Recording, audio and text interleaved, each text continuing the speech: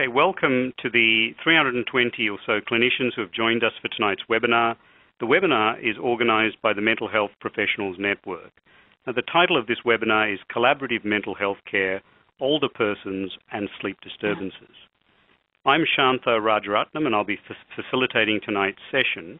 Uh, I'm a professor of psychology at Monash University in Melbourne, and I currently serve as the president of the Australasian Sleep Association, which is the peak body representing sleep clinicians and researchers in Australia and New Zealand. We're privileged to have such a stellar group uh, of clinicians in our panel tonight, and I'd like to begin by uh, introducing this panel to you. First, I'd like to uh, introduce Dr. Richard Kidd, who is joining us from Queensland. Now, you can't see Richard, uh, but he's certainly with us by phone. Unfortunately, his camera is not working, so he's going to participate in this webinar uh, by phone. Uh, Richard will be providing a GP perspective on the panel. Uh, welcome, Richard. Hi. Uh, it's great to have you with us. I see that you're a GP with a special interest in aged care. Can you tell us a little bit about how this came about? Ah, well, I, at one point I was actually thinking of being a geriatrician when I was um, a very young doctor in New Zealand, and um, I was in an accelerated physician training program, and uh, the Auckland Hospital had a geriatric um, uh, acute admitting unit attached to the main body of the hospital, and I was uh, admitting and discharging patients every day and the love of looking after um, aged people really started then and has never left me, even though I've gone off and done other things like be a volunteer in Papua New Guinea. All right. Well, it's great to have you with us, Richard. So joining Richard is uh, Professor Colette Browning, who's a health psychologist based in Victoria and an expert in healthy aging uh, and behavior change science. Uh, welcome, Colette. Thank you, Shantha. Uh, can you tell us a little bit about how your research uh, is influencing the way practitioners are, um, are managing health problems in older persons? Oh, well, um, we have a longitudinal study in Melbourne on healthy aging, and we've been examining um, what are the predictors of good outcomes in old age. And interestingly, a lot of those predictors are actually um, health behaviours like physical activity and, and, good eating, but also we've found that um, sleep is an important predictor of healthy aging. So I was very pleased to be in, invited to participate on the on the panel because obviously sleep is an important issue for older people and uh, contributes significantly to their well-being in old age. Well, it's great to have you on the panel, Colette. Uh, next in our panel is Dr. Rod McKay, who is a New South Wales-based psychiatrist uh, who works with older people. Uh, I notice uh, that you work across community residential care and inpatient settings, Rod. Do you see sleep disturbances impacting on health and quality of life across all of these settings? To what extent do you see it? Oh, there's no doubt that in all those settings, sleep disturbance um, happens for many reasons and has quite a profound effect on quality of life. So it's a very important issue and very important to not mismanage it. So, pleasure to be here tonight. Thanks, Rod. So, uh, and last but not least, I'd like to introduce Dr. David Cunnington, who's a sleep physician based in Victoria, uh, well known for his breadth of expertise uh, in all aspects of sleep medicine. Uh, welcome, David. Thanks, Shantha. David, what prompted you as a physician to develop such strong expertise in behavioral and psychological treatments for sleep? Uh, unfortunately, once I got really interested in sleep, it was unavoidable.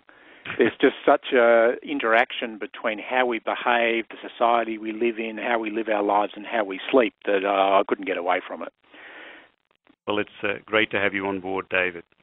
So uh, I, I, note that the audience would have uh, seen the ground rules for these webinars that are coordinated by the Mental Health Professionals Network. I'm not going to go through them again, but I remind you of these uh, particular rules.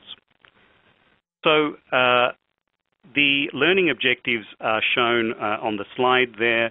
Uh, our aim through an interdisciplinary panel discussion about this particular case study, Wayne, an older person who may be experiencing mental health issues and or sleep disturbances, we will raise awareness of the link between mental health and sleep disturbances, identify the key principles of the featured panelists' approach in assessing, treating, and supporting Wayne, and also identify the merits, challenges, and opportunities in providing collaborative care for Wayne.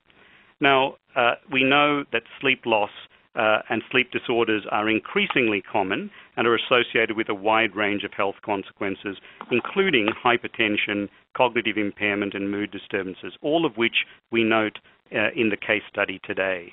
Now, there's a critical need to increase knowledge among mental health practitioners about the impact of sleep disorders and appropriate management practices. So, looking specifically at the case study of Wayne, we note that he's a 67 year old man who has retired from a job that involved shift work about five years ago. He has a history of high blood pressure, is slightly overweight, snores loudly, and reports being awake for much of the night. His wife is concerned about recent episodes of memory loss and his uh, depression. Now, Wayne himself recognizes that he's tired during the day, but really thinks that this is a this these health problems are a part of him uh, becoming old. So let's consider what our panelists recommend for Wayne and also for Bev. Now, I'll ask each panelist now to give a short, discipline-specific response to this case study, and then we'll take questions uh, across the panel, and we'll also start to uh, look at some of the questions that you have all asked as the audience. So I'd like to now hand over to Richard to discuss his response to the case study. Uh, Richard, over to you. Well, there are a few things as the, the GP with this couple coming in. The first is that uh, Wayne is not necessarily uh, at this point a, a willing participant. Um, he's been dragged in by his wife Bev, and uh, thankfully, at the the end of the introduction bet- between Bev and Wayne, there is a segue for the GP to be able to um, maybe get some engagement with Wayne when he turns around and says, "Well, Doc, you know, just tell her it's uh, aging, and there's nothing much you can do about it, is there?" And that's the point where uh, the GP can say, "Well, actually, Wayne, no, this may not just be aging. You know, there are a number of things that you've um, described there, and that Bev's described that, you know, we could look at, and maybe we could make things a whole lot better for you and have you feeling much, much better." And uh, so that will give us an opportunity to then think about some investigations and um, involving other people and sorting things out with him. Um, it's probably a bit too early for a differential diagnosis, but uh, you know clearly if there's been weight change, if he's got pain, um, if there's mood problems, cognition problems, um, if he's breathless, you know, all of these things the GP needs to think about, and that will devolve down into things like, you know, whether he might have diabetes, um, prostatism, maybe something a bit more sinister with his prostate, whether he's suffering with sleep apnea. So the, the GP needs to think about all of those things as well as uh, obviously dementia and depression. And the other really important thing I think is that when you have a couple presenting like this is um, is Bev depressed? Is, is she the one who's not sleeping as well? And what about her pain control? So you know the GP really has to look at at the the, the dynamics of the couple. So um, certainly blood and urine tests for Wayne, um, more history and family history around dementia and depression, as well as diabetes and prostate problems. And, um, you know, as is probably often the case, they probably didn't make a long appointment. So part of it is trying to get the engagement for them to come back to work them up for a comprehensive mental health assessment, looking at cognition and mood, and um, considering referrals to maybe a sleep physician, psychologist. Um, so uh, I think the GP in that first session really has to just get some engagement and explain there's a few things to sort out, and there'll be a few other people to involve in the process probably. Well, thank you, Richard. I think this is a, a great uh, segue really into uh, Colette's perspective as a as a health psychologist. So, Colette, perhaps I'll hand over to you now. Thank you, Shantha. Yes, I'm taking a, a health psychologist perspective, but also um, uh, obviously I, I, work in the field of gerontology, so I'm also looking at um, that as well. I've just got a message on my machine about activating the camera. Here we go. Good. I'm back again. uh, so I think the perspective of a health psychologist is very interesting because although we we obviously trained as a um, in psychological uh, principles, we try and look at the interrelationships between physical, cognitive, and mental health issues, and in this case, um, sleep disturbance in the context of age-related changes and expectations. So from the gerontology perspective, um, what I'm interested in is looking at uh, age-related changes and how these might um, impact.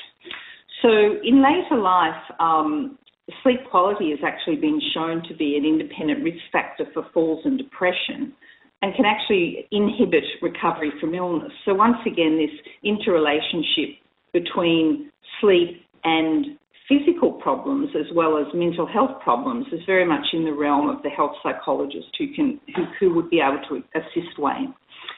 Um, also, I think Shantha's pointed out that um, quality, good quality sleep is also important for cognitive functioning and memory consolidation. And again, we have to look at this case from that perspective as well. A lot of older people assume that um, if they've, they've got poor memory, that it's because they're getting older, but it may be because they have a physical problem that's contributing to that. And also, uh, because um, as we get older, we're more likely to have um, multiple chronic illness problems as well. It may be not the age that's impacting on poor sleep, uh, sleep quality, but uh, a chronic illness that is impacting as well.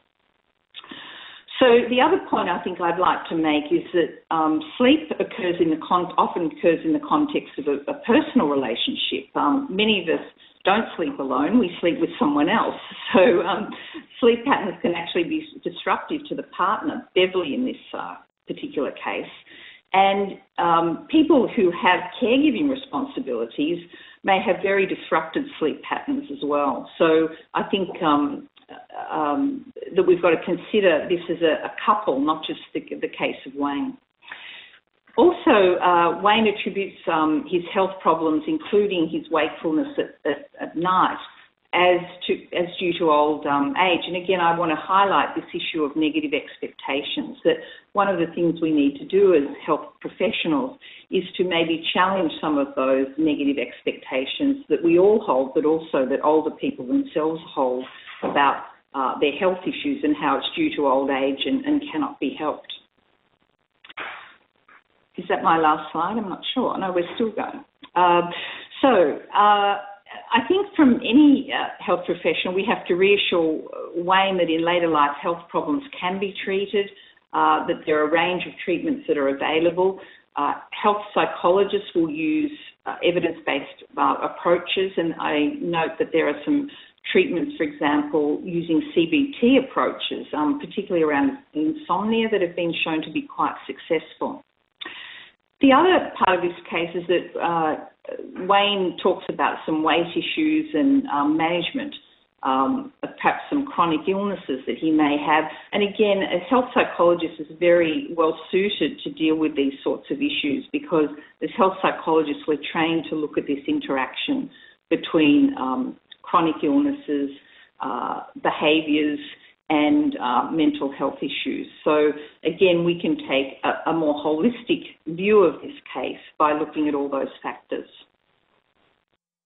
Thanks, Colette. I mean, that's really interesting, and I think I'd like to take, uh, you know, to pick up on one of the points that you made, particularly about the extent to which Wayne has uh, attributed a, a, number of these uh, problems that he's experiencing to a part of the aging process. And I'd like to, uh, you know, in a moment ask all of you the extent to which this then uh, is a barrier to people seeking uh, medical treatment for you know, such things as sleep disorders, cognitive impairment, and so on. But perhaps we'll get to that uh, after hearing the perspective of Rod uh, as a psychiatrist. So, to Rod, I might uh, hand over to you now. Thanks, Shantha. Um, I'll click on the camera as well and get started. Uh, I think the first thing to emphasise is each psychiatrist is going to have a, a slightly different way of um, structuring their assessment and how they'd focus um, on the problems in this case. Um, but in general, they will have a structure behind that, and then the emphasis of the assessment will vary according to the training they've had, um, their experience with similar problems, and also trying to hear what Wayne's wishes are um, and to tailor the way the assessment occurs um, to meet that, and also looking at where the, the setting of the assessment is. Um, this sounds like it's, it's, in your office, but often assessments of older people aren't in, in the office. They may be in the person's home. Um, they may also be in residential care, and that has quite a big impact on the way that you actually carry out an assessment. And so therefore what you try to do is follow the patient's responses, but move through all the elements of the assessment you'd like to do and make sure all the areas that need to be covered are. Um, so in general, psychiatrists look at a biopsychosocial assessment, so trying to look at um, how will the biological, the psychological, and the social factors interact and actually end up with Wayne in front of you now and looking for what are the factors that may predispose Wayne to having problems, what's brought him now, what's precipitating it, and what might be perpetuating those. And I think in terms of Wayne, you can see that there's a lot we don't know about Wayne, um, but we do know that as well as having a, a, potential carer, he's been a carer for Bev as well, and that clearly increases the risk for both sleep and mental health problems um, in later life. What we really don't know, I'd like to know more about Wayne, is his um, family history and also personal history to make sure whether he's had any um, problems or family have had problems with depression or with um, dementia. What we then look at is actually what were the, the, priority assessment issues for Wayne. And for him, the, the, most important thing is going to be rapport.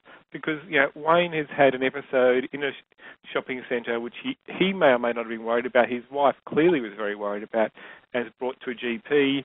And in this case, the GP is sent him to a psychiatrist. Um, and so it's very likely Wayne is going to be fairly defensive coming in. And so that's going to be the most important thing.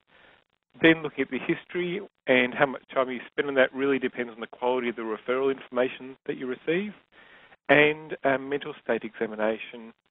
And very much depending on how receptive Wayne is, the degree of cognitive testing you do on a first assessment or whether you negotiate doing that um, at a second assessment.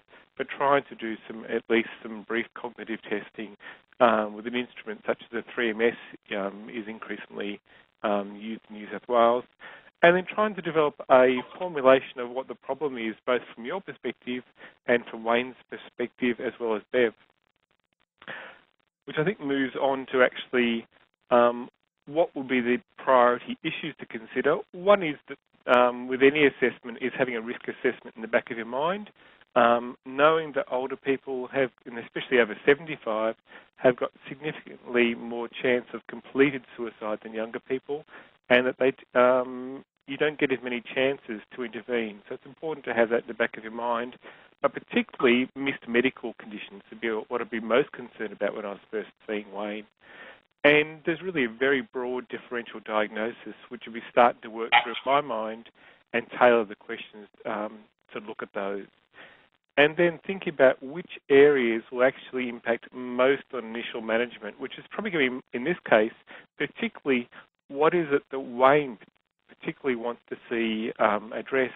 And I would suspect that either clarification or reassurance about memory problems actually might be, for him come to see a psychiatrist, the biggest issue.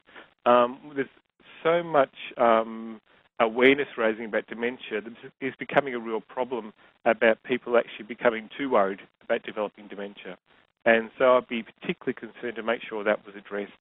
And then thinking about what are the future roles um, of both a psychiatrist, if it's required. Um, may not have mental health issues. Um, it, it, could well be that it's only other issues, um, but make sure you're negotiating what is your role and what is the role of other parties. And in terms of the principles, that really will vary on who is actually involved. So mostly that treatment will be in a shared care model with the GP in an informal setting with the way that I would practice. And I, um, I think a number of psychiatrists would practice. And then looking at, in terms of an older person, how do you bring in other resources to help with social needs um, if they're required? And so it would be a combination of direct management, um, I would be reluctant to be looking on the history we've got at medication for Wayne, but if you were looking at medication, I think the thing I'd emphasise is because someone um, may have depression and sleep disturbance, doesn't mean you need an antidepressant that actually um, is sedating. And I think it's one of the, the key mistakes to avoid um, in cases like Wayne if depression is present and then making sure you're very clearly communicating with the patient and with the GP about not just what is proposed, but what might be the side effects of what's proposed and who's going to look out for those and what to do if they occur. Cool. And that would then, I think, might skip the short term, but to look at, I think, because I think it's very similar to some of the things you've heard already, but I think thinking very much about what are the long-term priorities as well. So thinking about the fact that you may not get the diagnosis um, right first up, and being quite clear um, with Wayne and Bev that when there's a number of possibilities, you might have to work through those and then come back to think about them and discuss with them whether the interventions you've suggested actually are working or not. And then once they do work, how do you make sure they keep working and the problems don't come back? Well, thank you, Rod.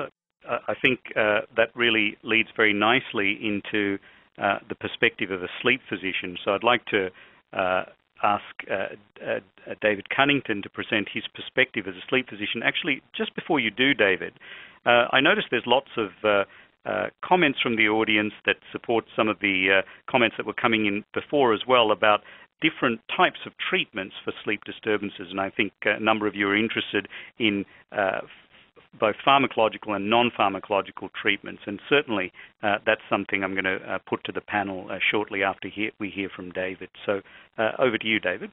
Yeah, thanks, Chancellor. So I thought I'd start just actually with explaining what a sleep physician is, because um, it's a relatively new uh, specialty, and sometimes people don't have a good understanding of uh, what we do and sort of who we are.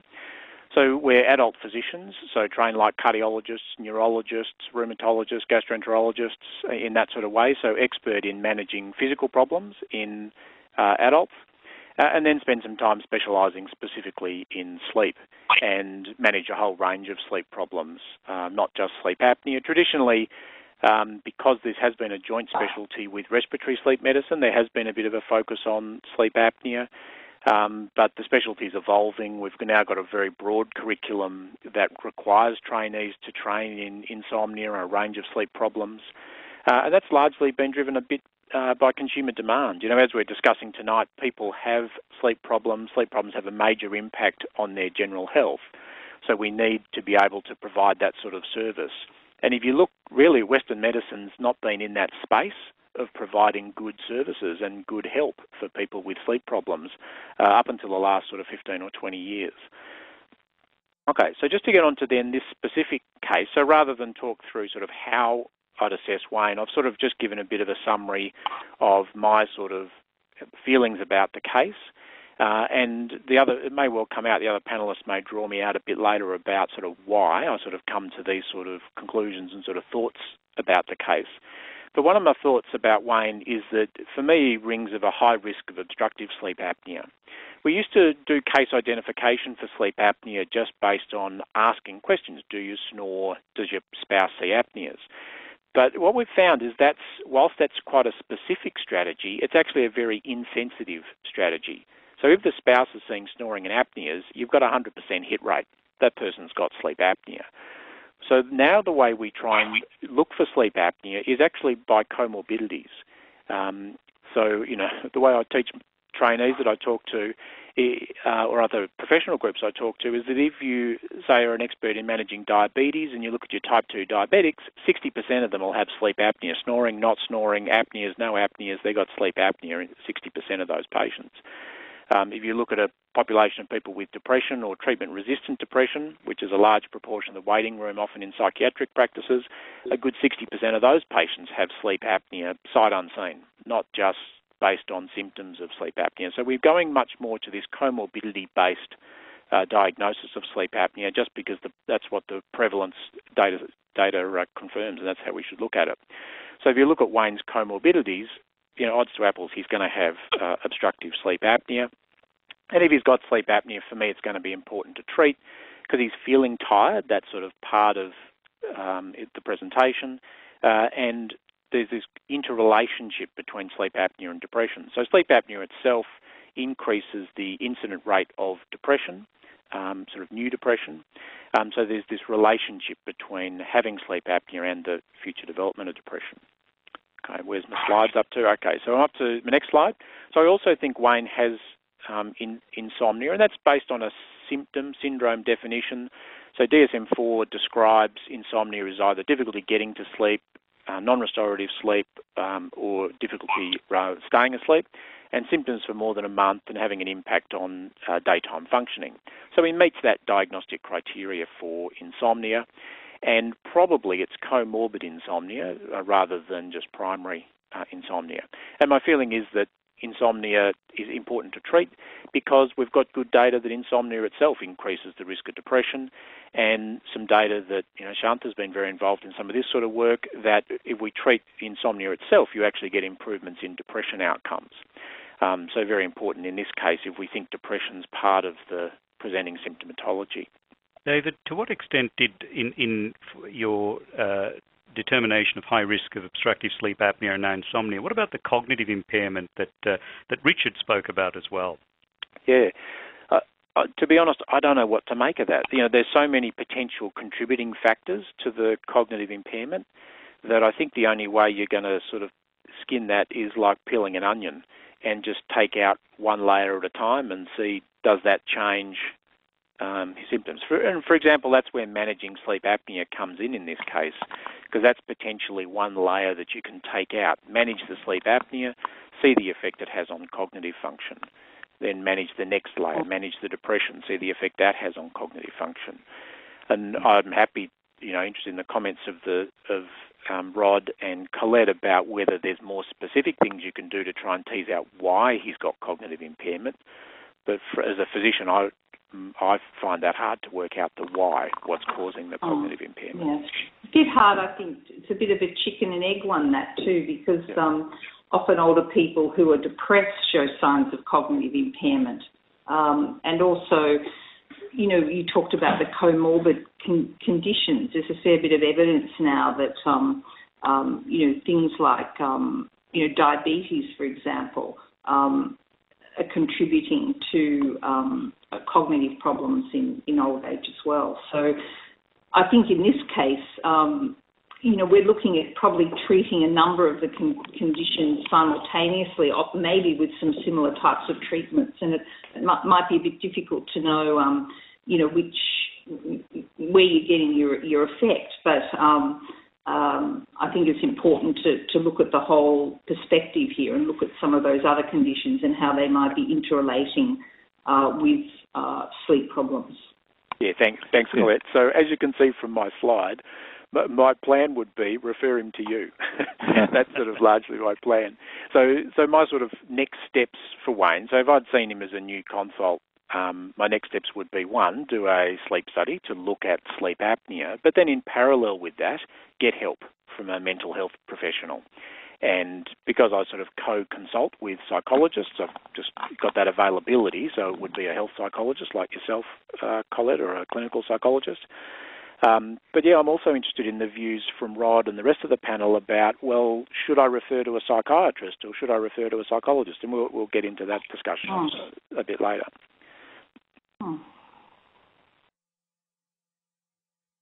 So uh, thanks so much, David. I think uh, there's lots of questions that I, you know I think we can uh, start to ask each other, and uh, and and that really uh, opened up some of them. So I'd like to um, start by asking uh, perhaps Rod to you know you Rod you had a question that you'd like to pose to Colette in particular about how to consider non-medical uh, uh mental health, uh, how do non-medical uh, uh, mental health professionals meet the challenges and what can doctors do to assist? Would you like to ask Colette your, particular question?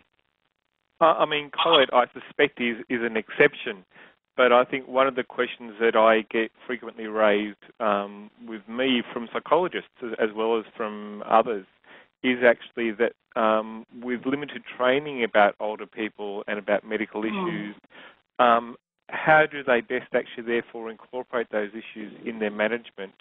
Um, and how do they know how to adapt their interventions if there's some cognitive impairment present, if they haven't had formal training in how to do that? And then, in terms of hmm. collaborative care, how, how can the psychiatrist or, uh, or doctors help psychologists in coping with those issues? Yeah. Look, I, I think this is a really good um, question. And, and as I said earlier, um, as health psychologists, we're really trained to look at that interaction between um, particularly chronic conditions and mental health issues. So uh, I think health psychologists are well placed to under, understand those interactions. But I agree in terms of the training in um, dealing with older people is still quite limited in, in much of our training, be it psychology um, or, or, other health professions. So I think um, part of part of this is to sort of understand that as we age, um, we're increasing. There's an increasing chance of various chronic conditions that may be influencing our mental health. So. Um, even very common conditions like arthritis, um, which is maybe causing pain in older people, are going to uh, contribute perhaps to their difficulty in, in sleeping, causing restlessness, restlessness at night, for example. Um, and multiple chronic conditions are often associated um, with depression. So I think for um, a, a non-medical mental health professional, they just need to really be aware of what those um, con- comorbid conditions that their client may have.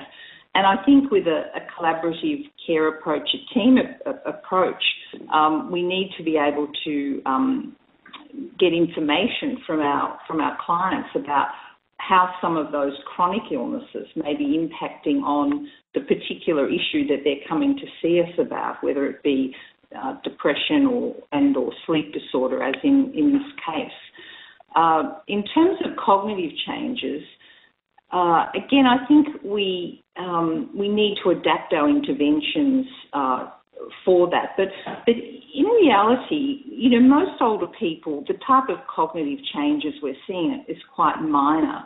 And I was interested in the comment um, before about um, it might have been you, Rod, actually, who said that you know people worry about you know just because they're old and they forget something one day, they think, oh my God, I'm getting dementia. Well, I think again, this is a we, we need to be able to reassure older people that that um, uh, you know, forgetfulness doesn't mean you're going to get severe uh, cognitive impairment.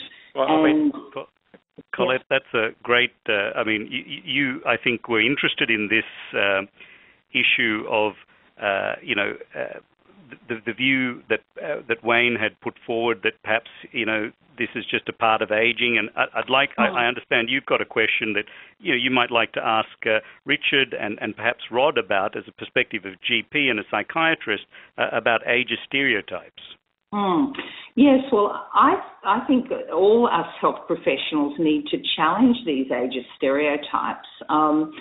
We see them in older people themselves, as in the, the case we're looking at now, where older people themselves will attribute negative um, health issues to old age and, and then think, well, there's nothing much we can do about it. So I think part of um, part of what we need to do is, is reassure and maybe challenge older people that, that yes, there are uh, evidence-based treatments that can assist them with their uh, concerns, but also in the training of health professionals. Um, I'd be interested to know um, from you, Rod and Richard, how, how, do you see that playing out? As, as you, have you seen any changes in the training of health professionals to help address the often ageist um, attitudes that health professionals have?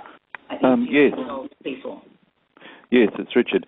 Uh, in terms of the training, as a, a GP um, supervisor, I am involved in training medical students and registrars, and um, I have a, a, fairly big practice, and we also train nurses, and we have some uh, psychology um, uh, undergraduates here, and we have a, a, few psychologists working with us as well. So we're involved in training um, people across the board in health professions, and um, have a number of other um, specialties um, uh, uh, under our roof. And uh, challenging ageism is certainly um, a very important thing. And I might just quickly share one little story with you. Um, I remember very fondly a little um, Scottish lady who was 104 years old, and uh, she was developing some arthritis at the age of 104 in her knee. She was a very strong matriarch. Her children were in their 70s and 80s, and and uh, they they still very much kowtowed to mum. But anyway, she was uh, walking using a um, uh, umbrella, one of those ones with the hollow metal stems and the sharp spike on the bottom. And as a GP, I could see a disaster happening. One of these days, it was going to flex and flick up and, and slice her leg open. And I turned around to her and said, Elizabeth, look, I think it's really time to start using a walking stick. Don't don't use your um, umbrella to support yourself. And she turned around in a nice Scottish brogue and said, Oh, doctor, I cannot be doing that. I don't want people thinking I'm old. and she was 104.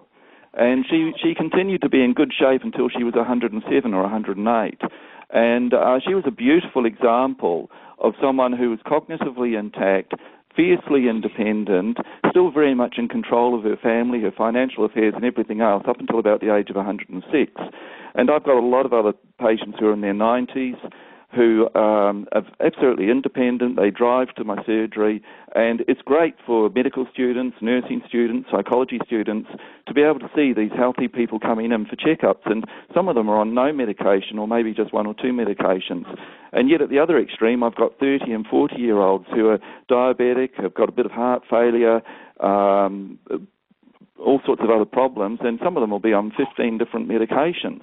So it's not ageism, it's about recognizing what conditions people have and treating them. And one of the things you were saying before about the sleep deprivation and the cognitive impairment, I think that's a really important thing to reinforce. As a GP, I'm well aware of uh, things like with my, um, I'm also involved a bit in um, uh, supervising young doctors, and there's all this fatigue management around them now because we've recognised that if a person goes without significant sleep for 48, 72 hours, they basically behave like someone who's drunk. They have got significant acute cognitive impairment.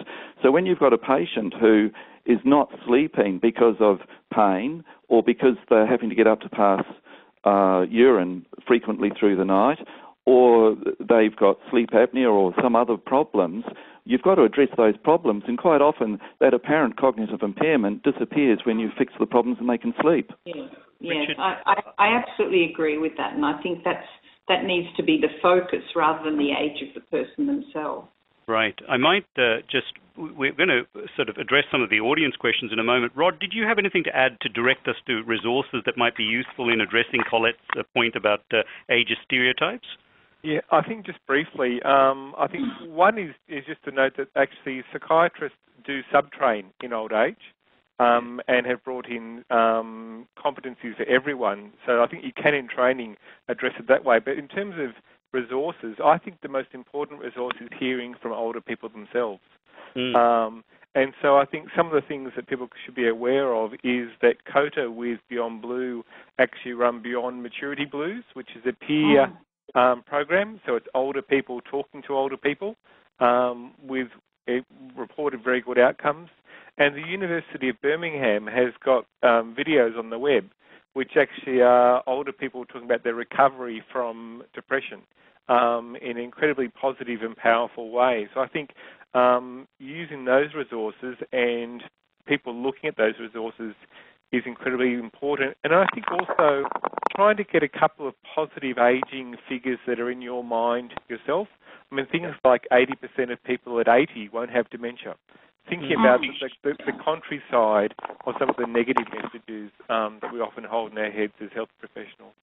Thanks, uh, thanks, Rod. I think what I might do now is one of the common uh, threads in the discussion that's coming uh, forward from the audience is a discussion about uh, non-pharmaceutical um, uh, pharmacological treatments uh, for sleep disturbances, and you know people are asking about about yoga, about practical sleep strategies, uh, hypnotherapy, and so on.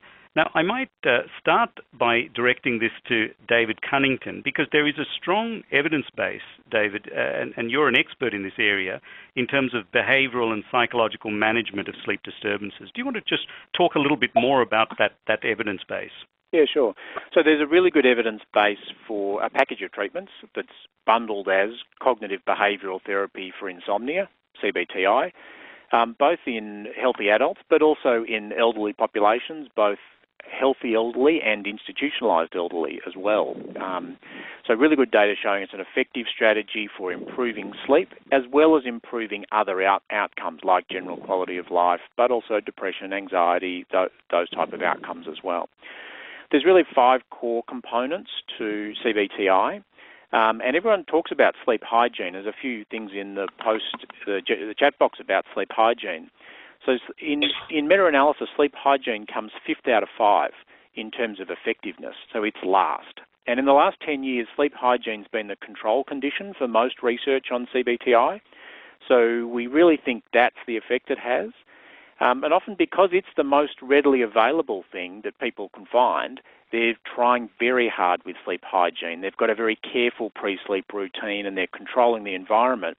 But that actually is very counteractive and perpetuates a lot of the insomnia because it puts a lot of the focus on trying too hard to control sleep. So rather than focusing on sleep hygiene, really it's a matter of just make sure they're respectful of sleep hygiene, but right, and after that, you know what, that's enough. So the other four components of CBTI, the, the most powerful components are called sleep restriction and stimulus control. And the essence of those two components is matching the time in bed more closely to the amount of sleep people mm-hmm. are actually getting. Uh, and stimulus control, if you're in bed and awake and don't feel like you're going to go back to bed, get up, get out of bed, wait till that feeling that you're going to sleep returns. Yep. Uh, they're really the two most powerful components, behavioural components, but they're quite challenging because it really shakes up a lot of the behavioural coping strategies people have had around sleep. If people haven't slept well, they're used to going to bed a bit earlier, sleeping in a bit later to catch a bit more sleep, and they've coped with that strategy over some time, and now you're telling them to just completely throw that out and literally uh, using a, something that's called sleep restriction when they're fearful about not sleeping. You know, it's quite a challenging uh, sort of process. So we try and then incorporate that with one of the other two two components of CBTI, relaxation strategies uh, and cognitive therapy. So challenging some of those um, disordered cognitions people get around sleep. If I don't sleep for X amount of hours, this bad outcome will occur. Mm. Um, uh, well, that's really uh, helpful, David. And another, uh, you know, consistent comment that we're getting is how do we know when to treat with uh, these cognitive behavioral strategies that you've been talking about and when to treat with benzodiazepines. Uh, of course, we know that they're widely used in, in general practice, uh, and more recently, melatonin uh, as a treatment for these sorts of sleep disturbance. So, uh, Richard, I might ask you when you a patient presents with significant insomnia, how do we make the or how do you make the determination of what would be the appropriate line of treatment? Uh, benzodiazepines, melatonin, and cognitive behavioural. I try very fiercely to resist starting anyone on a benzodiazepine. Um, uh, there are a few um, very restricted occasions in which I will, and that's like uh, you know during acute bereavement or some other fairly major trauma, and I'll make it very clear that you know the person in that situation where they've got uh, very high levels of anxiety and are hypervigilant and quite distressed, um, and it's an acute setting, uh, in that setting, I will, you know, be very careful in making it well understood that they shouldn't use the benzos more than three or four times a week. Otherwise, uh, rightly or wrongly, I say that within two weeks of taking them every night, they're going to stop working and they're going to be addicted to them, and they're, they're going to find that they get um, increased anxiety as they start to wear off, and then they're going to feel the need to take some more and have no benefit. So I try very hard to resist the benzos, and I try to get people off them who come to me. Um, I think, uh, particularly if we go back to Wayne, one of the uh, things that uh, I mentioned uh, uh, in response to other people is this guy is drinking a lot of tea during the day. Um, there are a lot, a lot, of times you can look at people's lifestyle and um, some of the things that they're doing that are actually going to interfere with their sleep. And um, another thing with them is physical activity. Um, a lot of people, when they have stopped working and are in retirement or semi-retirement have given up their physical activity and if they can get back into regular exercise that's another thing that can help reset things for them. Mm. yes, and I, I would agree with that. Um, I think some of those um, health behaviours are very important in terms of um, assisting this case Wayne in terms of um, his sleep, but also I think we noted in the case um, that he had he was slightly overweight. So one of the approaches a health psychologist might take with this is to actually look at helping him reduce his weight um, through increasing his physical activity, for example. Yes. So, um, how do you, uh, uh, uh, David? Do you have any comments about when, when, in your practice, the decision to treat uh, with, with with the cognitive behavioural uh, therapies versus the benzodiazepines? And perhaps you could also comment on when it's appropriate to use melatonin. Uh, particularly, there was lots of questions from the audience about the use of melatonin for elderly with insomnia. Sure. So, so if I break it up into sort of when do I use a drug and when do I use a non-drug strategy, and then I'll mm-hmm. talk a bit about which drug. Um, essentially, I'd use a non-drug strategy all the time. So always trying to give um, some type of CBT, because there's always some type of behavioural things we can do to get sleep working a bit better and some cognitive work we can generally do. Um, and then if people are distressed and acutely distressed about not sleeping, that's for me the role of drug as well. Uh, not necessarily as a hmm. long-term strategy, but as a short-term strategy to help alleviate that distress. Because if people are really distressed, uh, they find it hard to participate often in some of the behavioural change and cognitive change and lifestyle changes they need to make to sleep better. And those strategies take some time to work. Um, some time can be three weeks, four weeks, five weeks, that type of time. And if someone's really distressed, that they're not prepared to put in the work and wait that long. And then in terms of what drug I would use, yeah, I, I really liked Richard's comments about the benzodiazepines um, because it's difficult. Once you start them, it can be hard to stop them. They can make sleep feel different, and that changes the expectation. So people then begin to like what sleep feels like when it's a benzodiazepine sleep rather than normal sleep, which feels different to benzodiazepine sleep. And then they that's part of the withdrawal thing is they associate, well, I'm not sleeping the same, it feels different. So I, I used to like the way it felt with the benzodiazepine.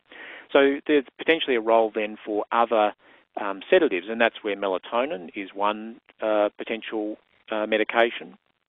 Uh, people are variable, variably susceptible to the sedating effect of melatonin. Works very nicely for some, not so well for others, and so it it's not necessarily a guarantee it's going to work perfectly for everybody, um, but it's fairly well tolerated, fairly good side effect profile. It's indicated for the treatment of insomnia in those over the age of 55 in Australia, um, so I think that's a good choice. Um, but I'll also use other over-the-counter preparations like valerian, valerian and hops combinations. Um, you know, often find those helpful, and there is data for those as well. Um, but I'll always try and use in parallel a non-drug strategy, uh, with the talk with the patient being um, really the mainstay of treatments, the non-drug strategy. The drugs are a short-term bridge. This is a holding strategy we're using while we're upskilling you and empowering you about self-managing um, so that you can manage your sleep going forward. It sounds like, David, there's uh, times where you're going to you know, require the expertise of one of uh, the, the, you know, expertise of uh, some of your panel members here, a sure. psychologist and psychiatrist. I think you were interested in questions of when you should refer in your uh, in your yeah. practice. Do you want do you want to put that question uh, uh, to your colleagues on the panel? Yeah, so so Rod, I'll, I'll start. So Rod, often a patient like Wayne often finds himself as first presentation coming to a sleep clinic. So it's not an uncommon referral for me to see, with the referral being from general practice. You know, sounds like there might be sleep apnea or insomnia. Um, and sure, I'm comfortable sorting out that side of it. But yeah, if I'm worried about depression, you know, when should I be referring to you? I think the key issue really is um, where you feel your boundaries of capacity are, and also with the GP. So keeping the GP in the loop about who the person is seeing.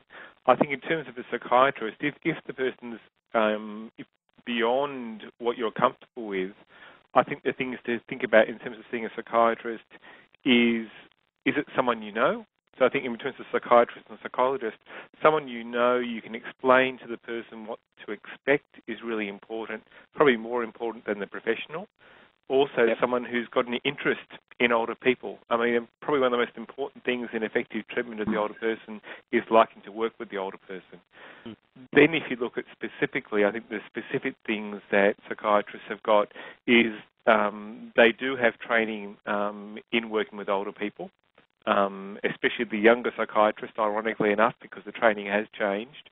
Um, also, specifically, if you're looking at interactions with medications or what are the best medication options, that's something where psychiatrists um, would see as a special area. And although you know this overlaps between um, psychologists, there's the issue that psychiatrists are trained as doctors first, and so particularly those who are used to working with older people will be very attuned to what is that interaction between physical health um, acute or chronic medical conditions and medications and mental health. So I think I'll be looking at those things. And in particular, if an older person, um, there's any concerns about suicidality, unless you're someone who's very comfortable working with that, it's important to get help from a health professional soon because older people, one, have a increased increased rate of suicide, especially over 75, but importantly, they don't tend to attempt suicide very often. They're much more successful once they decide to do it, to actually do it. So if there's a concern,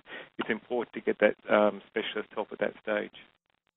Thanks, Rod. Uh, uh, uh, perhaps, David, you might uh, call upon expertise of others uh, among the panel, uh, psychologists, for example. So, Colette, you helped me out when I was talking about my views on the case. So, yeah, when should I be sending someone like Wayne to, you know, a psychologist? Well, I think the, the point I was making before, where we're looking at um, what are some of the comorbidities that are occurring around the sleep problems. So, if there are physical health problems, um, like um, you know diabetes, arthritis, those sorts of things that might be um, interfering with um, with the the sleep quality, then some of the things might need to be addressed. Like in the case of Wayne, where he's slightly overweight, you might refer to a, a health psychologist to um, help him manage his weight. Uh, getting more um, physically active, help him with his um, diet, for example, using um, various behavioural approaches and things like um, motivational interviewing, for example, which has been shown to be quite successful in helping um, older people change their behaviours around these sorts of issues. So I think that's that the role of the health psychologist would be quite useful for those sorts of things where you've got where you're trying to address the comorbidities, which will then hopefully have an impact on the primary reason that, that um, Wayne's come to see you, which is around sleep. Thanks. So if I could just jump in very quickly, I, th- I think for a psychologist or psychologist, if you're worried about cognition, the important thing is finding a psychologist or a psychiatrist who actually is interested and got skills in looking at that area, yeah. uh, rather than someone with more general interest. Hmm. Thanks. Yeah, well, that, yeah, and that, that I think that's the other part of it. Um, again, it's not clear from the case study with Wayne again whether he has you know severe memory problems or whether he's reporting them because he's a bit worried about his general health and he's noticed he's forgetful and is starting to worry about that. So again, I think um, you know an assessment um, um, around um, you know, how severe this cognitive impairment is would be very useful in this case. I think just to see, hopefully, to reassure Wayne that, that it isn't such a problem. But if, if he um, if he has got significant cognitive impairment, then um, I think he'd have to be re- maybe referred even to a geriatrician to deal to deal with those sorts of issues. It's Richard here. I might just leap in as a GP seeing this on a almost daily basis.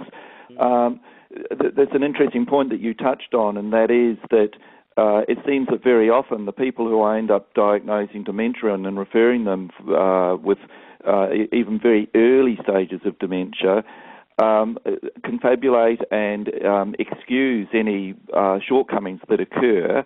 Whereas a person with depression is often very worried that they're going to have dementia and are very worried about some Mm. very mild indications of some sort of cognitive issues. That uh, so so um, I think the fact that he's been distressed and worried about it, but probably does point more towards um, depression than dementia. What would you say, Rod? Uh, I think the stereotype is right, but I think there's also um, a lot of exceptions to it. And yes. in particular, there is an increased rate of suicide in people in the early stages of dementia who do have insight. So I think it's important to be cautious. It, it, so yes, there's a yes, but. Yep. So that's uh, uh, really helpful to understand, I guess, uh, David. It, it, clearly looks like there are areas uh, where uh, you know, uh, interactions with, with, with a psychologist, a psychiatrist, and the important point that Rod made with, with really close, closely linking uh, the management plan uh, with the GP, I think is, uh, is crucial there. Now, a, a, number of the members of the audience are asking or have asked before as well, what should sleep look like in someone Wayne's age? Now, is it is, is, is it normal for sleep need or duration of sleep to decrease? Uh, would someone who's 67 experience awakenings and, and be awake through the night? Um, I might start, Richard, with, with because you might, uh, I guess, have you know at the coal face of getting people who have certain expectations of their sleep. Uh, and how do you deal with this in terms of what, what is normal as a part of uh, a part of aging? Well, it's a, an interesting thing. If a person doesn't have any prostate issues, if they've got good um, lifestyle around not drinking caffeinated drinks, as this guy drinks tea all day, um, and they're not uh, uh they, they're not uh, abusing alcohol. If there are a lot of other things not happening, um, they may well sleep through the night very happily. And uh, you know, quite a few of my patients don't have sleep problems, uh, even even in their 80s and 90s. Um, but uh, someone in his 60s, sadly, it's not uncommon for them to wake up once or twice during the night and um, go and uh, have to empty their bladder. Um, some degree of benign prostatic hypertrophy, or you know, basically a, a non-malignant problem with the prostate growing bigger, uh, is becoming quite a common issue by the time people are in the uh, by the time men are in their 60s. Um, and for w- women, quite often there are um, some uh, difficulties for them around um, bladder issues relating to childbirth, and they have developed a, um, a, bladder that's taken control of their life, and you know the, the, the so-called Woolworths bladder during the day, where the, the first thing they do is look for the toilet when they're out shopping. But again, they're often getting up during the night. So this thing of getting up to pass urine is not an uncommon thing. It doesn't necessarily mean it's normal, but it's not uncommon. Um, but there are things that can be done, and uh, that's where the you know a GP needs to engage and say, well, let's see what we can do to improve things. So let me ask the sleep physician then: How much sleep does a 67-year-old male need? Uh, uh, David, we hear all about how sleep is important for maintaining good health. So how do you answer that question? Uh, that, that's tough. Um, enough to feel refreshed. That, that, that's my simple answer um, because we've got population averages and we can sort of say what sleep's like across a population. Um, but Richard made the really good point. There's a huge no- normal um, spread, so that there are some people, extreme elderly, um, who sleep very well, and other young people in good health who sleep very poorly. So it is, is a bit of a spread. As a general trend, the amount of sleep we need does reduce across life. And at the age of sort of mid 60s, I'm thinking about six and a half hours is about sort of par. Um, we've got some data on women of the age of 50 that 3.7 awakenings per night is the average, um, not one, not two. You know, it's 3.7, mm. um, and so that once you're older than that, it's going to be even more. And if we look at historical writings about sleep, up until industrialisation, human sleep was always written about as a first sleep, three or four hours of sleep that was deeper, followed by a bit of being awake in the middle of the night, followed by then some restlessness and dozing until the sun came up, a second mm. sleep. And it's only since industrialize, industrialization we've had this construct of eight hours of uninterrupted yeah. sleep. So that sort of information is really important for people because a lot of older people will will recognise that. I have three or four hours of reasonable sleep, and then I'm sort of it's I'm awake and it's light dozy sleep until the sun comes up. Mm. Historically, that's how humans sleep. Uh, can I just ask uh, Richard and Colette, uh, or sorry, uh, Rod and Colette, uh, a number of uh, people are asking about Wayne's history. We know that he was a shift worker. We know that he was forced to retire from uh, his place of work. To what extent do these factors that may have triggered, uh, you know, mood disturbance, potentially depression, and so on, to what extent the, do you think these things brought on the sleep disturbance. Do you think the sleep disturbances are a uh, you know, a follow-on effect of his change in life circumstances, which may have triggered, uh, uh, you know, the depression that his wife speaks about. Perhaps, Rod, if I could ask you first. I think you could look at many hypotheses, and that could be one, but I don't think you can, with the information in front of you, really say the answer is yes. There's no doubt an unhappy retirement is a risk factor for depression, and that could precipitate the sleep problems. But at the same time, for most people, retirement actually, um, even if they weren't planning it, um, is actually a release. And so, actually, 65 to 75 is probably the time of some of our best mental health. Mm. So, I'd be cautious about making the interpretation. Worth exploring, but wouldn't jump to it being the reason. Great, Colette. Yeah. Do you have any yeah, further comments? Yeah, I would I would agree with that too. But I think um, again, I think this issue around the planning of retirement is important because, um, and it's probably often in men who have, um, you know, had jobs that have been very um, engaging to them, and then they they find themselves in this new lifestyle of, of not working. I think that can be um, quite a, a stressful transition. So uh, I think planning for what you're going to actually do when you retire is an important aspect of, um, of, of in this case with um, with Wayne, I think as well. So um, it, as I agree that, that that's one hypothesis that, that could be actually tested to see whether maybe talk to him a bit about that, whether whether um, he's unhappy with having retired and is, is, is um, you know missing the activities that he had before. Uh, because if he, it seemed like he's sitting around a fair bit and not doing much, and I think this is a, a sign of him maybe not not really thinking about what he could re- do in retirement because he's been used to um, you know an active job that's occupied a lot of his time. If I could just say briefly, Richard here. Sorry. I go, Richard. Yeah, I, I just want to make the observation that in this particular case, he retired five years earlier, and it seems that they've actually been enjoying a comfortable life, a fulfilling life, and um, been very connected with their family. And it's only in recent weeks that this is uh, that there's been this change. So uh, I think um, we're looking at something else. I agree with everything you've said about retirement and the importance of planning for it, but I think in this particular case, that may not be where this is coming from.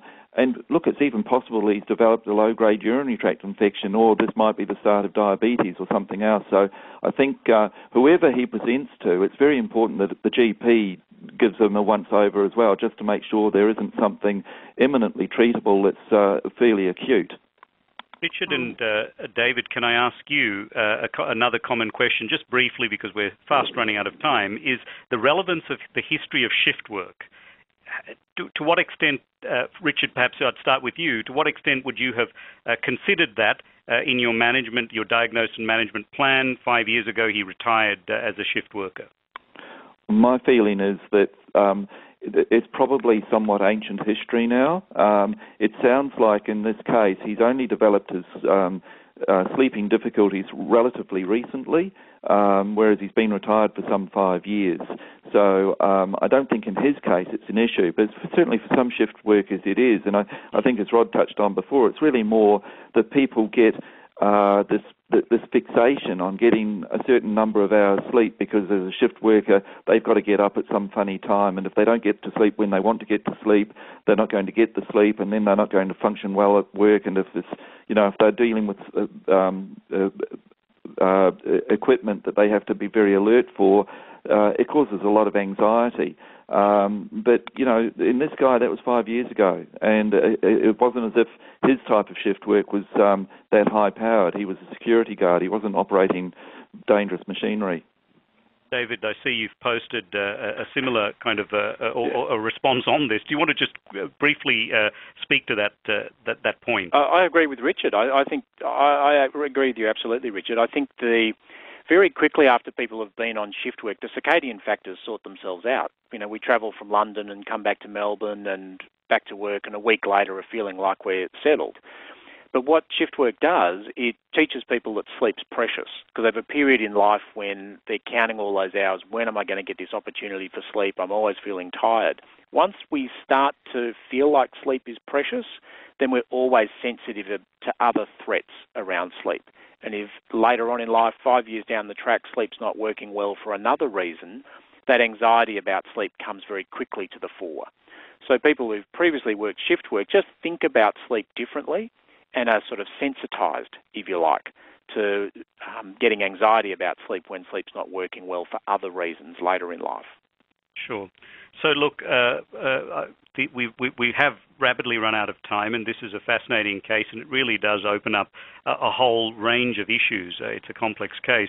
I'd like to ask each of our uh, expert panel members now to briefly, uh, just in a minute or so, summarize from their perspective um, particularly in terms of the issues that we've been discussing about uh, models of collaborative care or multidisciplinary input to the management of a case like Wayne.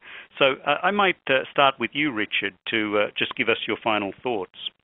Um, sure. As I've said, uh, I, I, see this as a relatively acute problem. It's only really been going for some some weeks, and I see that it, it's not just Wayne. There's something going on with Bev. She's somehow not coping with uh, their relationship. And uh, I think that we really need to explore a lot more what's been going on in their relationship. But in terms of the acute setting and what's going on, as the GP, I need to involve uh, a very extensive team pathologists, maybe radiologists, as well as maybe mental health colleagues. Um, and probably uh, when I start sorting them out, it may well be exercise physiologist or a physiotherapist as well um, to help them have a safe graduated exercise program to get them back into some good routines, get rid of some of that weight, um, and you know hope, hopefully get him a lot healthier. He may well have diabetes or some thyroid condition, maybe a low-grade urinary tract infection. Um, he may well have depression, um, possibly dementia, um, and certainly the prostate may well need to be looked at in his case.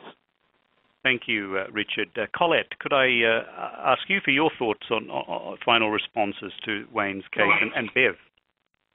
Um, well, first of all, I'd, I'd, just like to say that I've really enjoyed this session because I've got the perspectives from the other panel members, which has been very interesting.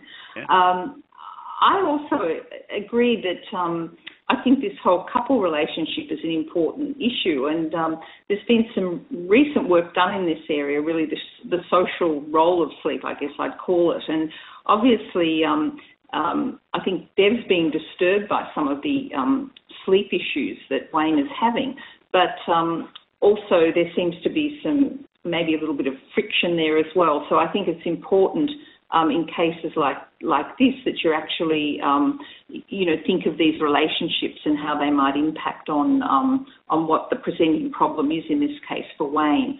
Also, again, from a health psychology perspective, I think uh, looking at, at, at, physical and mental health comorbidities is very important, and I think all of the panelists have, have demonstrated um, that we've all talked about that, that we're not looking at it just from the perspective of our, our own discipline, but I think we, we all understand that, um, that particularly in older age, there's a complexity of issues that we need to look at. So I think that's probably the main thing. And, and with psychologists, they're often, um, people don't necessarily just turn up to psychologists of their own bat. They're relying on um, um, other medical professionals referring. I guess I just um, say that um, from that point of view, health psychologists have a lot to contribute um, in these areas of physical and mental health comorbidities and assist cases like um, like Wayne. Yes, well, I think, uh, Colette, I uh, uh, certainly agree with your point. David, I think, made the point earlier about uh, non pharmacological treatments in general mm-hmm. uh, for the management of sleep disturbances. The evidence base is very, very strong that these approaches that David described uh, can be uh, highly effective in the long term, as effective, if not more effective in the long term as uh, uh, pharmacological treatment. So that's just one example of the clear role that the psychologist can play. Uh, mm. Rod, uh, over to you for your final response to, to Wayne's case study. I think the case emphasises to me the importance of balancing uh, really a, a, healthy optimism about aging and recognising at 67 Wayne isn't very old. Um, I don't see many people under 75 really. Um, but um, balance that with not ignoring the things which are different in old age. Be optimistic about his cognitive impairment because you know, he's probably only got about 2% chance of having dementia, but don't ignore it. It does need following up because if he is in that 2%, you need to do all you can to help him. Um, and I think I, I, do and I don't. I think one thing that hasn't been mentioned is don't use antipsychotics for sleep disturbance, which is I think a trend which is um, seems to be starting to build up to avoid the benzodiazepines, and a do which is do make sure that you help older people keep their role or keep a role in life because I think that is the one thing which um, helpful health professionals and helpful families often do is actually bring a support network around that actually takes away the person's purpose. And so if there's one thing I'd like people to think about is really think about how we avoid doing that and encourage actually helping an older person where that has happened to refine their purpose, which is often their role in their family and helping them to recognise that again. Thank you, Rod. That's a wonderful perspective. David, can I uh, hear from you as a sleep physician for your final response to uh, to this case we've been talking about? So, although there's a case we see a lot, and Richard was saying, you know, sees many times a day even, which I, I believe, I find this such a hard case because unless I've really got a team and close relationships with uh, psychologists that I know and trust, or psychiatrists that I know and trust and are happy to refer patients to, this sort of case is really hard to manage and get engagement and get behaviour change and. Um, I agree with you, Rod. You know, you got you know quite optimistic about what the outcomes are going to be because I think we'll actually get there. But it does take a team to sort of get that um, engagement. Um, and that's where I've, you know, one of the things I've, I've learned is just the luxury of if you've got a good team that you can work with and a good referral network, it just helps so much in how you can manage a case like this. Thank you, uh, thank you, David. I think um, what really strikes me about this particular case and, and, and the, the panel's reaction to it is that uh, it is a complex case, and there are many, many aspects that require investigation and potential, you know, ma- management approaches. I think you've all talked about the challenges that this case would pose to you in your discipline-specific roles. Uh, you've talked about uh, the great value of multidisciplinary input. And I think that's precisely the point of, uh, of, of, of, discussion of these sorts of case studies is to consider how uh, we might engage other uh, health professionals, particularly mental health professionals, in the management of a case like Wayne's. Um, Colette, uh, your points about looking at the totality of the situation, and Richard's looking at Bev as well as uh, Wayne, looking at the relationship factors, looking at uh, the life factors, and so on, uh, are, are, absolutely uh, you know well taken and, and, and really highly relevant in the management of this case. So, uh, I uh, we we have just a couple of minutes to conclude. I think the panel has provided an excellent summary of the response to this particular case.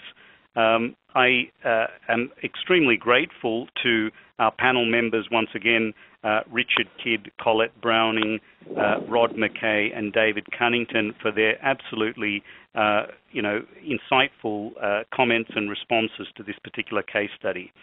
Uh, I'm grateful also to the uh, Mental Health Professionals Network for coordinating uh, a webinar on this really uh, important topic. And I think we all agree uh, that this is uh, an important topic and one that really does require a lot of education and reflection. So I'd like to remind you all uh, to ensure that you complete the exit survey before you log out. This helps us a great deal in planning uh, future uh, webinars. Certificates of attendance for this webinar will be is issued in four to five weeks. Uh, each participant will be sent uh, a link as well. Now, if you're interested in leading a face-to-face -face, network in your local area with a focus on older people and mental health or sleep disturbance, the Mental Health Professional Network uh, can help you and support you in doing so. So please fill out the expression of interest uh, that you will receive uh, as a link in the webinar follow-up email. Now, lots of questions came up uh, that unfortunately we didn't have time to answer all of them, but a number of questions came up from the audience along the themes of practical strategies for managing sleep disturbance.